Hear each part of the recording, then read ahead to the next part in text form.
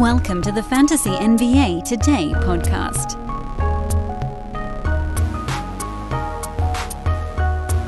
What's happening, everybody? Welcome to Thursday's Fantasy NBA Today. I am Dan Besbris, and this is, of course, our last regular midweek show before we transition tomorrow into our week in review episode of the podcast. Hope you guys have been enjoying the show so far this week.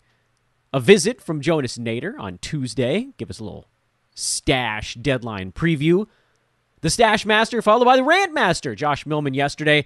Uh, my own schedule is precluding us from having the great Adam King on the show today. Shout out to Adam. We'll get him on probably as soon as next week, although I may have some childcare related issues to work out on my own front there, but we'll get this piece together. And frankly, I get to talk to all these guys one week from today, February the 10th at 8 a.m. Pacific time, when our SportsEthos trade deadline live show kicks off first thing in the morning here on the West Coast. It's a five hour show without commercial breaks, live on YouTube. We got the link in the description of this podcast. I hope you guys will visit it. Click the thumbs up button, set an alarm, subscribe, whatever it is that you got to do over at our YouTube page, and come along for the ride with us on that. It's going to be a damn wingding. Please do come check out our live show. We have so much fun. We've got all these experts coming on the show. We've got uh, front office experts, we've got fantasy experts, we've got team specific experts. It's going to be the best. I am Dan Besbris. Hello again, everybody. At Dan Besbris on Twitter. D A N B E S B R I S. Let's just dive straight into the Wednesday recap. Washington, big win on the road at Philadelphia. Daniel Gafford back into the starting five. Gave the team a little bit of a jolt. Didn't foul out trying to guard Joel Embiid, who's just been devouring people so far this year, particularly lately. And Gafford did a pretty good job. He held his own. He had four fouls. He had some foul trouble in the first half, but he played 21 minutes with no Thomas Bryant around. And this is why on yesterday's podcast we talked about picking him up because suddenly he's got his starting job back.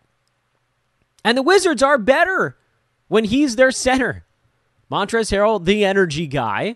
Gafford, the rebounder, the dunker, field goal percent, although Montrez can hold his own in that regard. Kyle Kuzma had another good ball game. He's been doing actually quite a lot uh, with Bradley Beal out, and has actually been a much larger winner than KCP, who was awful in this game. 29 minutes. Oh, I said that like a Brooklynite. Four points, four rebounds. I thought for sure he'd be more than good enough to stream with Beal on the shelf, and he hasn't been very good lately. He may pick it up. We might see Beal sooner than later. It's hard to know. You just hate that you know, the missing two games becomes evaluated, missing four games, and so on and so forth. But that's your Wizards report. That's why we wanted you guys to go pick up Gafford, especially after the five minute game opened up a little bit of a window to listen to yesterday's podcast and then still have time to make the move on him. Because the, the, it was telegraphed. I mean, this the Wizards went right back to what they were before Bryant came back, and that was Gafford as the starting center, posting top 80 value. He can easily hit top 80 in 21 minutes a game. You know, he's one block away from basically the line that we all wanted him to have on draft night. Nothing of note on the Sixers side. Maxey, Embiid, Harris. That's pretty much it with Seth Curry out.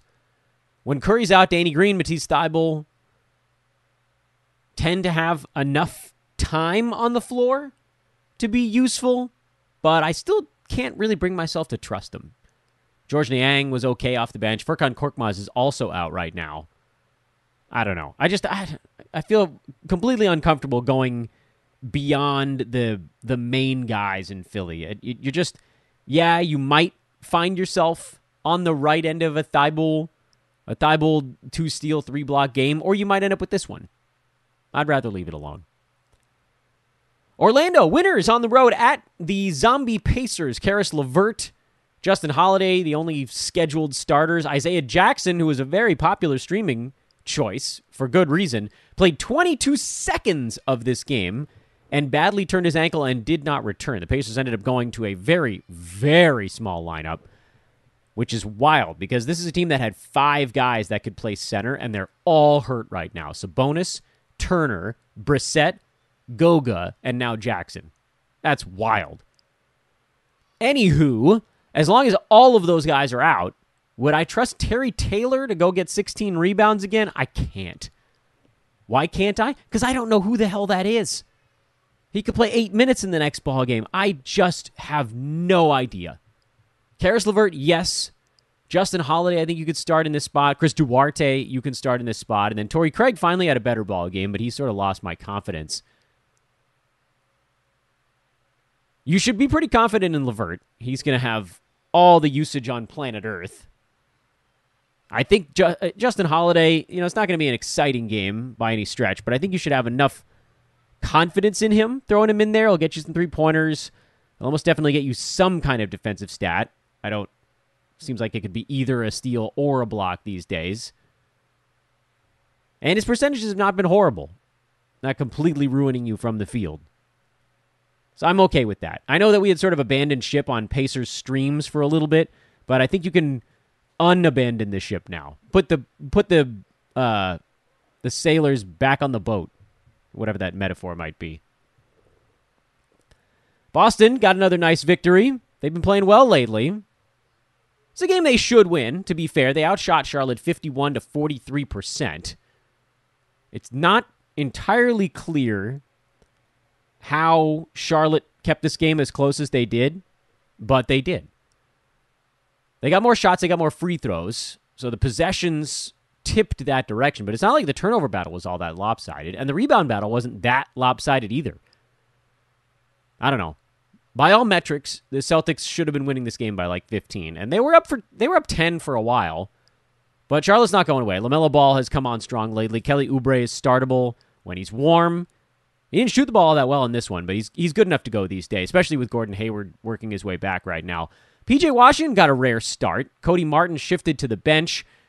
And I'll tell you, if PJ starts, and I, I I've got to believe that he goes back to the bench when Gordon Hayward comes back. Because Hayward makes his team a hell of a lot better. But starter PJ Washington playing starters minutes, that is a must start fantasy player. I just we might be looking at one game of this. So is that worth it? I don't know. I truly don't know. Maybe it is. Maybe it's worth. He's probably rostered. He's over rostered because of how inconsistent and he has these big games every once in a while. Mason Plumlee missed a little bit of time. He had 17 rebounds himself, by the way, in this one. So Charlotte's a little bit weird right now. I think Oubre is mostly rostered, so you're probably not going to be able to pick him up. PJ Washington's mostly rostered, and it's possible that this was his only serviceable fantasy game if Hayward does come back.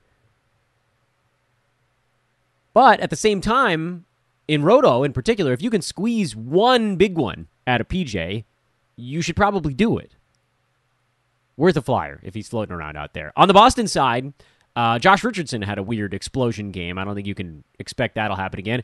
Al Horford, 12 rebounds, couple of three pointers. He's actually played a little bit better the last one or two games. And that's something. I mean, we're not, you know, hang our hat on it or anything. It's just been a little bit better than awful, and that's something. I have become an unapologetic Robert Williams mega fan here on the podcast, and it continues in this one. Five for six shooting, 10 points, eight boards, three assists, two steals, three blocks. Just another positively brilliant fantasy line while only scoring 10 points. That's how you have to do it. He's going to be underrated by the community at large because he doesn't score 15 points a game.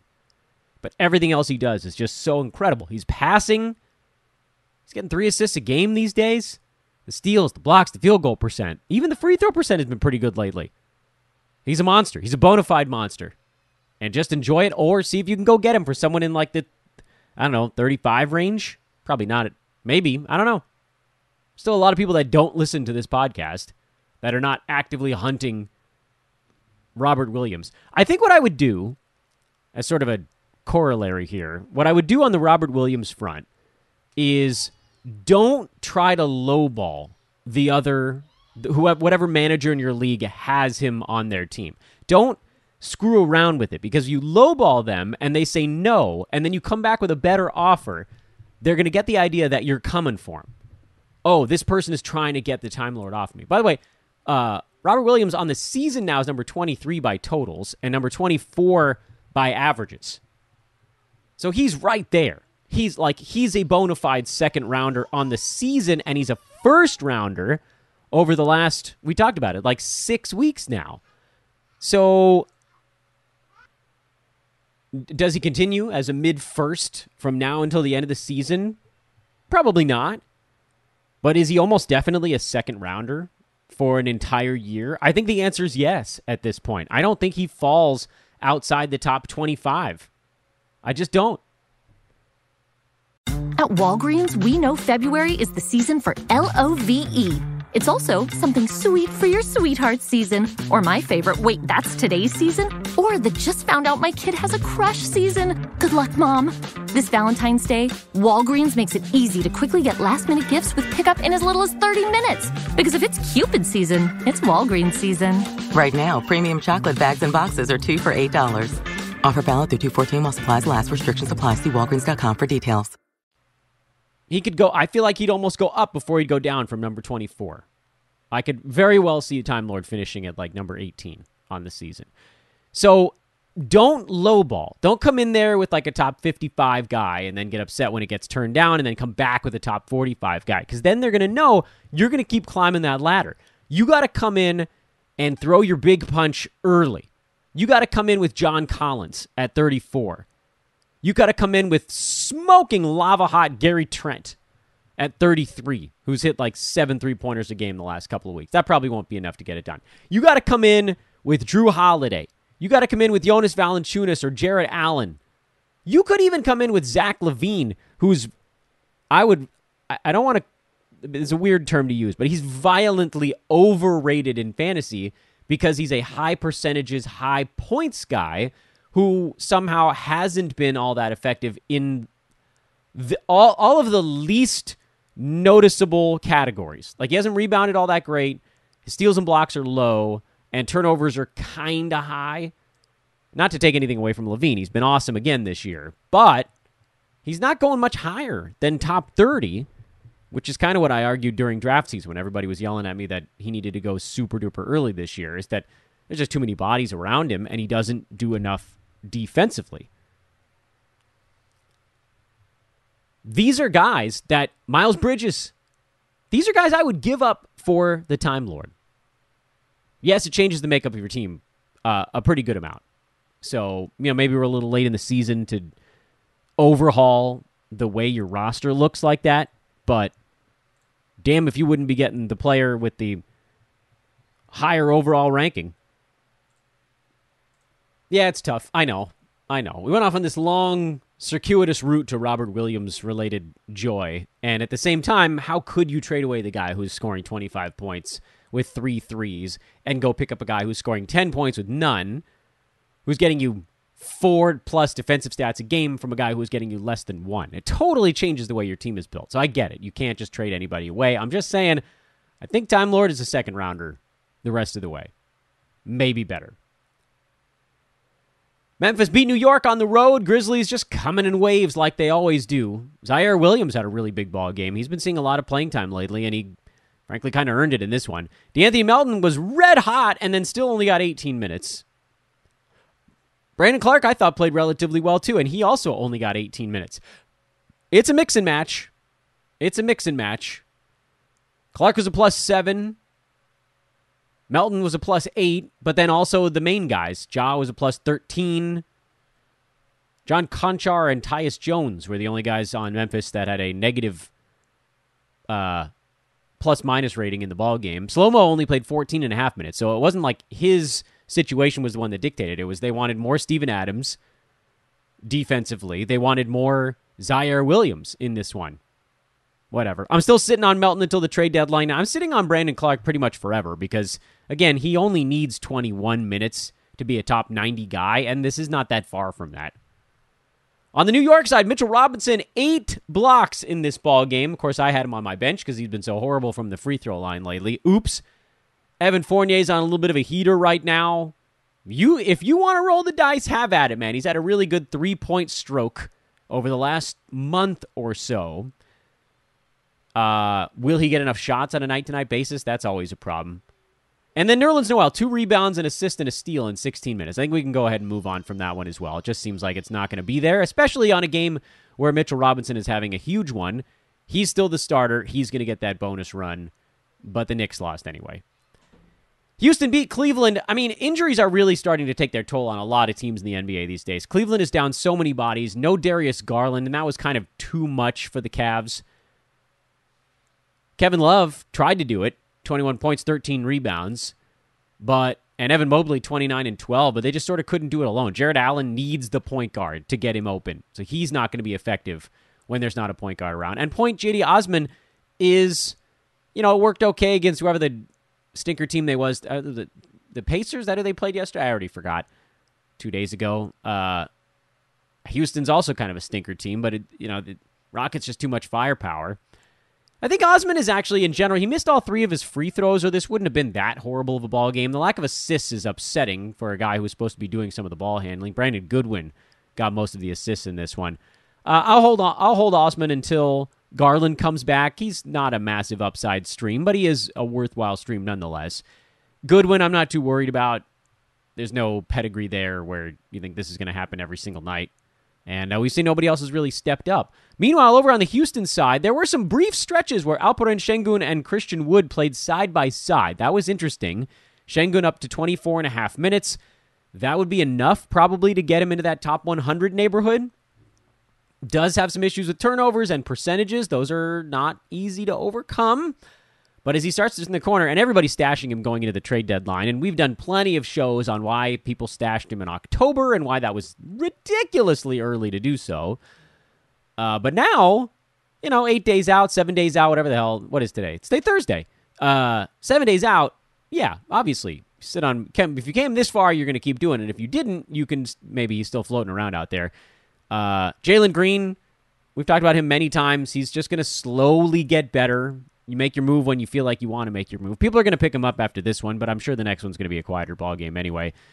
Kevin Porter's been better lately, but he missed a bunch of free throws here. It's why I'm almost I, I still can't really get behind it even when things are going well. He's still in that 90 to 140 range because of percentages and lack of defensive stats. And so not a whole lot changed for me on the Houston side. You know, when we talked to Jonas, KJ Martin, by the way, had uh, 10 points to steal a couple rebounds in 18 minutes. We talked to Jonas on Tuesday's show. Uh, we also mentioned Garrison Matthews as the other guy that could leap into a really interesting valuation if Eric Gordon gets moved. Gordon played 30 minutes in this game, and you better believe that 6 to 10 of those go to Garrison Matthews. He goes from 24 minutes a game to closer to 30 or even higher Remember when Kevin Porter was out, he had value. When Gordon goes out, he has value. He might even be one step closer to value than KJ Martin, even if his stat set isn't as fun. I know he had two steals and a block in this one. That's not really the MO for Matthews. He's going to hit three pointers, get you some rebounds, pretty good foul shooter, all that stuff. He might be the most likely rocket to move from one side of the cut line to the other, believe it or not, because he's actually kind of close to it as it is, so he doesn't need that big of a bump to leapfrog the ad barrier. Dallas had themselves an oopsies night, lost at home in overtime to the Gilgis Alexanderless Oklahoma City Thunder. Lu Dort, monster game. Josh Giddey, big ball game. Tre Mann had a really big game. Shot the ball well. Didn't do much besides shoot.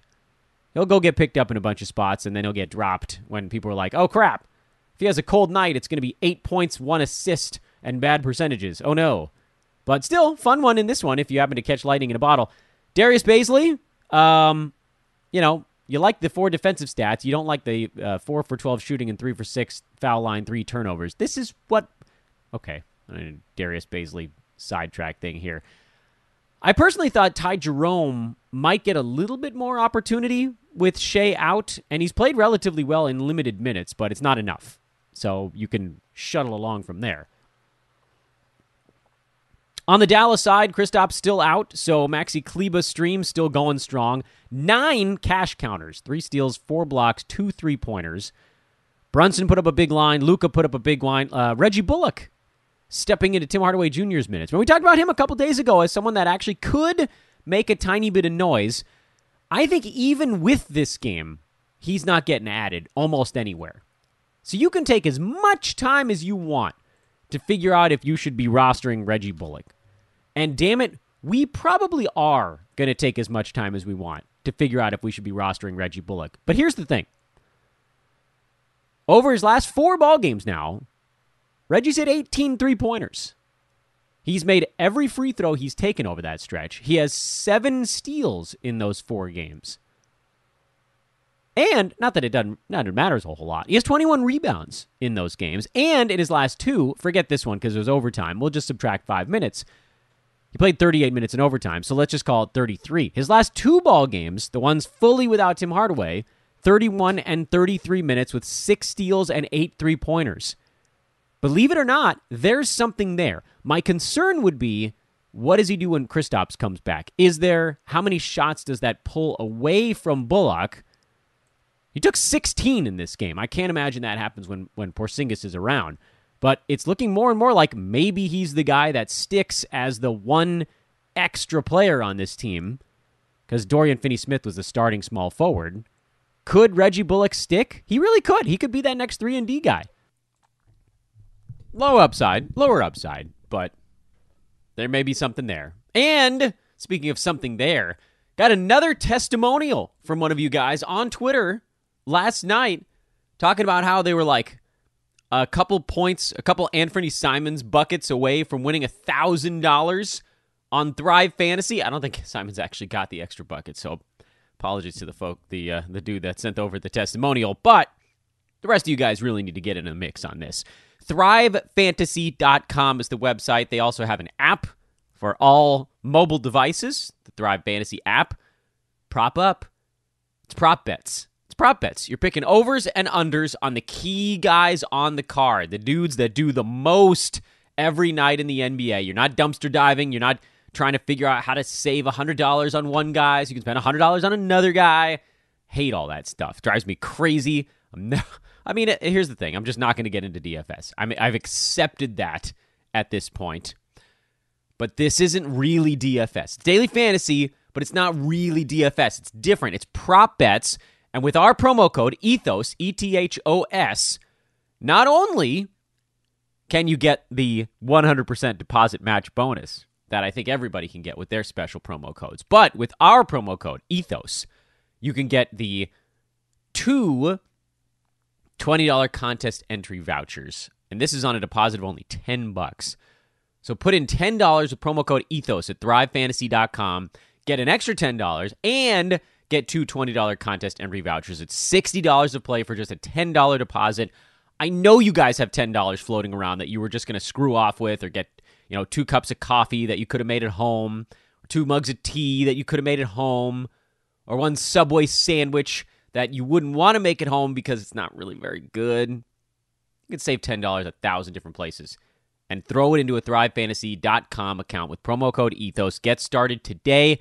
The testimonials are really starting to pop up. People are winning big time money with our buddies over there at Thrive Fantasy. You should too. Again, it is thrivefantasy.com and the promo code is ethos. E T H O S. Brooklyn's in a bad way right now. Not Nic, Nic Claxton's not in a bad way right now. He had a bad ball game uh, the previous timeout. Where the hell were they? Golden State. Not this one. Claxton picked on Sacramento to the tune of 23 points, 11 rebounds, a steal, and five block shots. It's why we said we were going to stick with him, not because we knew this ball game was coming, but because you know Blake Griffin wasn't going to be the solution at center, and LaMarcus Aldridge is out at least a week as of two days ago. So Claxton's the guy. The last time we saw Aldridge out, Claxton was amazing.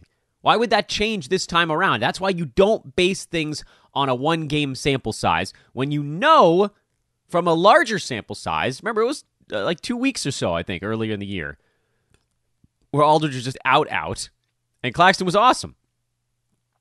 James Harden was terrible. He'll be better in the next one. Kyrie Irving, same story. They'll they'll be okay, but things are a little bit of a mess right now for Brooklyn. They're a very shallow basketball team. They really have no depth at all. They have the same general issues that the Lakers have had. The difference has been that for a while, Kevin Durant basically just carried Brooklyn to wins uh, with James Harden, but it was mostly KD. Because now you're seeing Harden and Kyrie together. They're fine, but they're not They're not winning those games where they sort of toyed with their food. Remember, the, the Nets played with their food so much earlier this year and then just kept winning close games at the end because they had Kevin Durant. It's a pretty sweet thing to have. Well, he's out right now. Brooklyn is spiraling. You remember a couple days ago, I went on VSiN. I was on Tuesday. I went on uh, a numbers game with my good buddy Gill Alexander. And he was like, What about the Atlantic Division? Should it be Philadelphia? And I said, Yeah, they're probably going to win it. But what about Boston at 25 to 1 odds to win the division? Well, guess what? Since then, Boston won a game. Philly and Brooklyn each lost a game. Celtics are only three and a half, no, four games out of the division lead, and they were 25 to 1 a couple days ago with a much easier schedule. Philly's got a tough schedule. Brooklyn's got a tough schedule. Anything can happen. Probably won't happen, but anything could happen. Sacramento side, um, Richaun Holmes only 21 minutes, nine points, nine boards, and a block. He was fine. Admittedly, he was he kind of got outplayed by Chimezie Metu and Damian Jones, so they saw a little bit of extra time, and that's the way things are going to go for the Kings right now.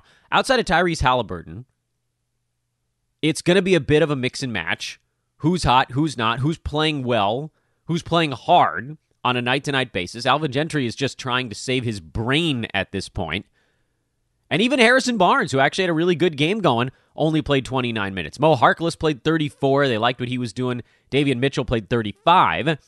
And, uh, you know, no valuation changes really on the Kings side, other than to note Halliburton, obviously, with no De'Aaron Fox, he's locked into a massive role. Barnes is definitely startable these days. He's sort of warmed back up again after kind of a slow spell, and it may have something to do with Fox being out.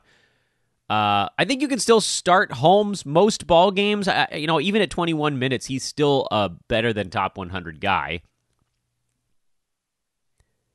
Buddy Hield is a question mark. He's a close your eyes and pray it works out at the end of the month fantasy play. And then Davion Mitchell is your low end streamer. It's the same thing I said last time. He's a very good defender who doesn't get that many defensive stats. Then translate whatever reason.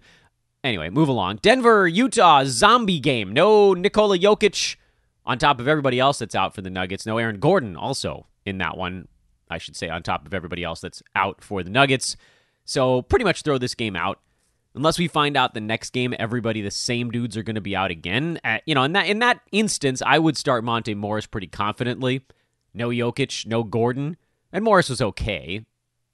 Barton was fine. You'd start him too. That's about as far as I'd go in these types of spots. And on the Utah side, Hassan Whiteside was out with a back issue on top of Rudy Gobert, on top of Donovan Mitchell, on top of Jordan Clarkson.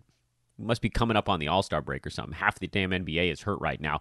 So Mike Conley is an easy start, of course. He gets a big bump. The guy I think that moves over the cut line is Royce O'Neal when all of those guys are out. But I don't think I can use a move on that because I think at least one of those dudes plays in the next ballgame. I don't know who it's going to be, but I think it's going to be one.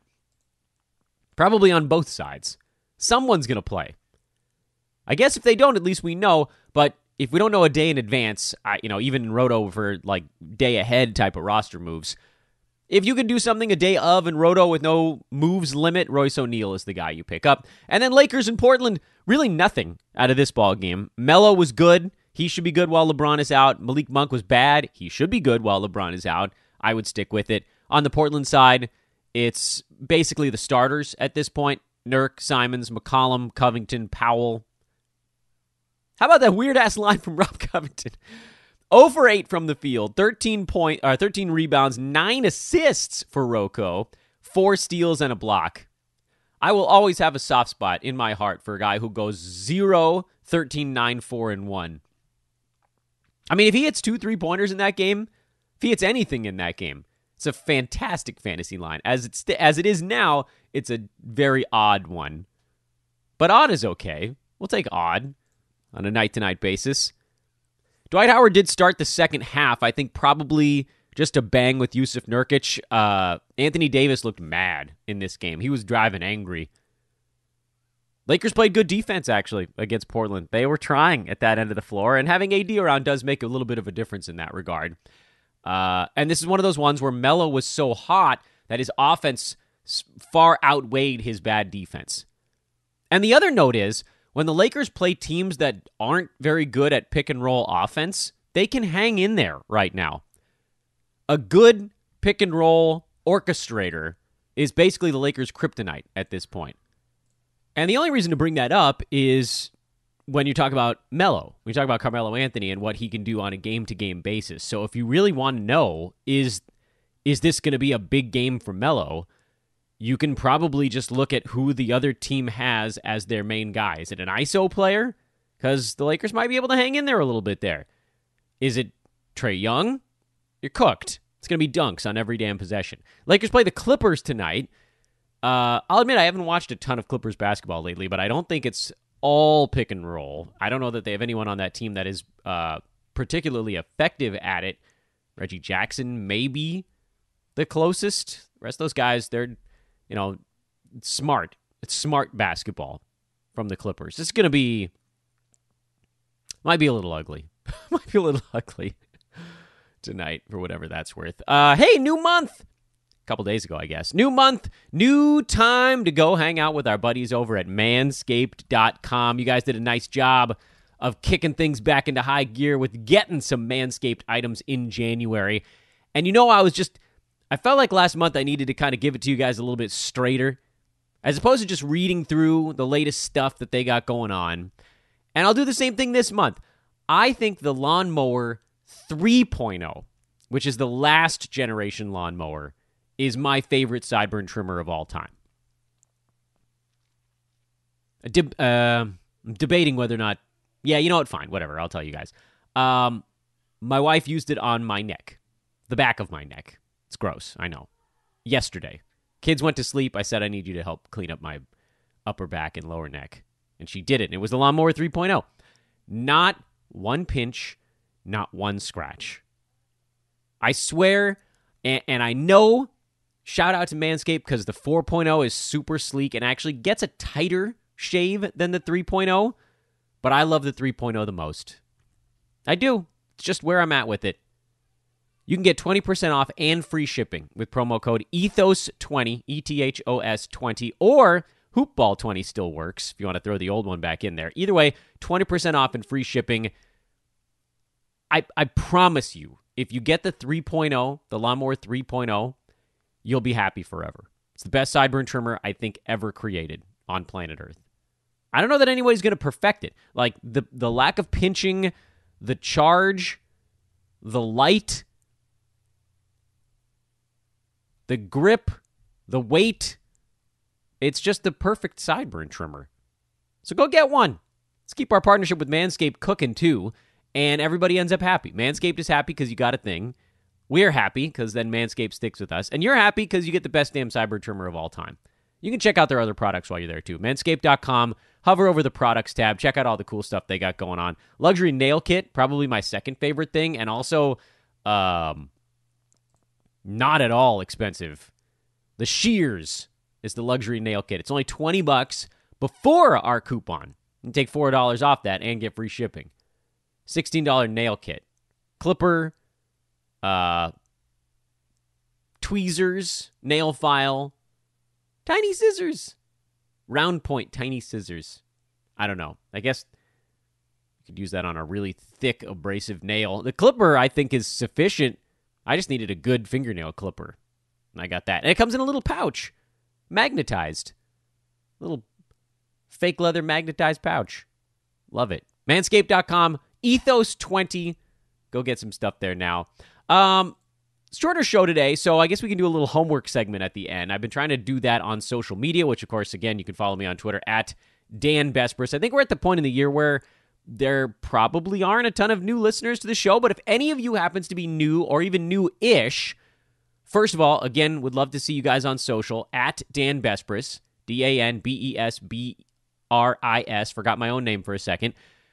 Ethos Fantasy BK is the Twitter news feed you need to be following. That's our guys over at SportsEthos, getting the news out as fast as possible. Trade deadline show. Link is in the description of the podcast. And uh what am I forgetting? I don't know. That's probably it. Homework. How does it work? What am I looking for on a particular card? We haven't done this in a while. So just a reminder, it's really important to go into a night of fantasy basketball with a plan. Minnesota at Detroit. What's our plan for that game. Don't care much about the Minnesota side. D'Angelo Russell's status is kind of the only thing up in the air. Detroit side, there's a lot going on. Jerami Grant, his second game back. Kelly Olynyk, his second game back. Do we start any of those guys? I think you can start Grant. He played most of his starters' minutes in his first game back. Olynyk only saw 17, 18 minutes. So that's a question mark. Is there going to be enough for him if Grant is around? If if Grant gets traded and Olynyk steps into a bunch of those minutes, which makes him an interesting trade deadline stash candidate. That was not my intent, by the way. I when when we picked up Olynyk, like at the end of December, my hope was he'd just come back and then he'd have three weeks before Grant came back to solidify his value. That didn't shake out the way we intended. Now he falls into trade deadline stash territory. Phoenix is in Atlanta. Do we have a plan for this game? Do we care? Not really. Not much going on there. What are you watching for in that game? Onyeka Okongwu, is he beginning to work himself into a timeshare with Capela? It's possible. That's probably the only thing worth monitoring. Chicago, Toronto, the whether or not the Raptors will use their bench at all. I think the bench players combined for like 35 minutes in the last ball game. It's some absurdly low number. They're going to crump on the basketball court. But right now, they're not using the bench. So I don't know. You might have to bench Chris Boucher for a little bit. I don't think you can drop him, though, because someone's about to get hurt on that team, and you know who steps back into a top 70 spot. Miami, they got a bunch of guys that are game time decisions, but it sounds like all of them are trying to play. Jimmy Butler, PJ Tucker, those guys are all hoping to get out there. Kyle Lowry is actually uh, a, a possible one in the mix right now. He's a game time decision. I don't know how much that shakes things up. Not all that much. You weren't starting Gabe Vincent anyway. Spurs, no Jakob Poeltl. I got a bunch of Drew Eubanks questions on Twitter, and I say nay to Drew Eubanks. He'll probably get the start, and he'll have a decent game about one out of every three times. Okay, it might be tonight. I doubt it, actually, against Miami. This would be a tough one for him. If Poeltl misses a week, you probably get one good Eubanks game and two bad ones. Can you catch lightning in a bottle? Can you guess the right one? I cannot. When I pick up a guy, I'm hoping that I can close my eyes, not worry about it. He's not that type of player. And is Thad Young going to step into a role? Probably not either. We saw what happened when Poeltl rested a game over the weekend. Thad played a dozen minutes. He's a pickup only if he gets moved. Sacramento got a win yesterday. We talked about it already, but still, it's something. They're the 13 seed in the West. They've been horrible, man. Yikes. Kings 19 and 34. What are they? What are the Kings? Are they buyers? Are they sellers? We have no idea. Thought they'd be sellers. Maybe it's just a rearrange the deck chairs kind of situation, which makes them still an interesting trade deadline team. Warriors, not that interesting of a team. Otto Porter, questionable. He's dealing with some back issues, which, of course, this is the fear with Otto. And I'm so sad because he was one of my favorite streams, and maybe it was just too many minutes. Should have known. I should have known that if he actually played, you know, 25 plus minutes for a week, two weeks in a row, something terrible was going to happen. But for the Warriors, they had a day off. This is not part of a back to back. So everybody else, anybody that's is healthy, is going to play. And then Lakers Clippers, uh, no LeBron, sounds like. I think he's doubtful at this point. I don't know if he's been officially ruled out yet, but I'd be very surprised if he played. This is technically a road game, but it's, you know, it's in LA. Uh, and then the Clippers are just so annoying these days. Isaiah Hartenstein is a watch guy. He's a trade deadline stash guy. We talked about it with Jonas on Tuesday. If Serge Ibaka gets moved or shut down or whatever it happens to be, Hartenstein is your guy. You could get out in front of it now. Again, we're only a week away.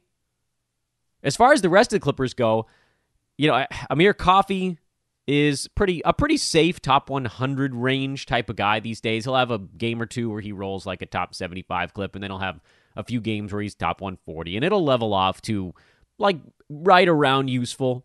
So that's probably one you could go with. I'm not starting Reggie Jackson. I think I would probably start Nick Batum if we get the he's good to go, especially against the Lakers. Lakers, like we've said, they have a lot of issues defending good passing Portland didn't pass well yesterday. Clippers, when they're rolling, they're a pretty good passing team, and they're going to shoot from the outside a lot. Although, again, it kind of remains to be seen what having Anthony Davis back for the Lakers actually means for their interior defense. It does look like he's trying a bit harder now than he did at the beginning of the year. Still, we're talking about the Clippers. Uh, I, I think they should be able to get some easy looks. And for Batum, that would be an open three pointer. So I think I'd start Batum. I'd probably start Coffey. I don't know if I'd start Hartenstein. I, uh, don't know what Zubac's status is. He was dealing with a calf thing his last time out and missed a game. Does Ibaka start again for the Clippers? I'd love it if they flipped that. If we heard Hartenstein was starting, he'd be all systems go for me. Coming off the bench, there's still I have a little bit of reticence. You could probably start him 20 plus minutes would get it done for him. He's just the kind of energy guy that's going to get eight offensive rebounds against the Lakers. Just a horrible box out team. Lakers, man, could they use a Lopez brother right now just to go put a body on someone? Nobody boxes out on that team. Then they go real small, like that's going to somehow make it better. Sorry, annoyed Laker fan over here. Although I guess they did win a ball game. Lakers side, I think you can go Malik Monk and Carmelo Anthony in addition to AD, and then you know Russ, Russ. Uh, until LeBron comes back. When LeBron comes back, I think you just go with the three main guys at that point. And that's kind of how the homework thing works. I want you guys doing this. Many of you know we've done this segment in the past at the end of the show. Quick few minutes on the homework. For a while, we did it every night. I thought it was more important for you guys to know how I was looking at it and what I was looking for. I'm hoping you guys are doing that on your own at this point. Tomorrow, we'll wrap up the week. Week in review, adds, drops, streams, all that good stuff, and get you set for trade deadline week. Again, if you're stashing, make the moves this week. If you're not, save moves for things happening. A trade could go down any day now. It doesn't have to be on Thursday morning. We had quite a few, three, three, four, I think, before the dead, uh, before deadline Thursday last year keep an eye out. Keep an eye out on uh, Ethos Fantasy BK. I'll also do my best to get you news as fast as it pops up on social media. And to that end, I will talk to you over there. I'm Dan Besbris for Fantasy NBA Today.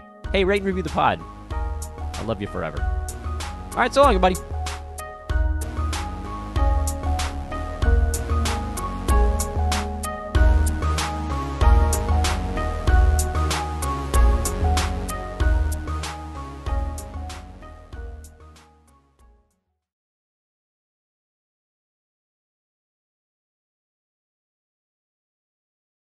Walgreens, we know February is the season for L O V E. It's also something sweet for your sweetheart season, or my favorite, wait, that's today's season, or the just found out my kid has a crush season. Good luck, Mom. This Valentine's Day, Walgreens makes it easy to quickly get last minute gifts with pickup in as little as 30 minutes. Because if it's Cupid season, it's Walgreens season. Right now, premium chocolate bags and boxes are two for $8. Offer valid through 214 while supplies last. Restrictions apply. See walgreens.com for details.